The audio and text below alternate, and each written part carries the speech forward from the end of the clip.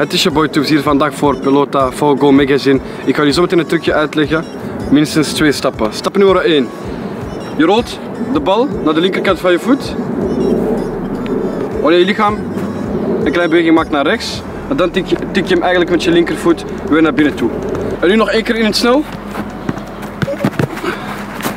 En nou met tegenstander.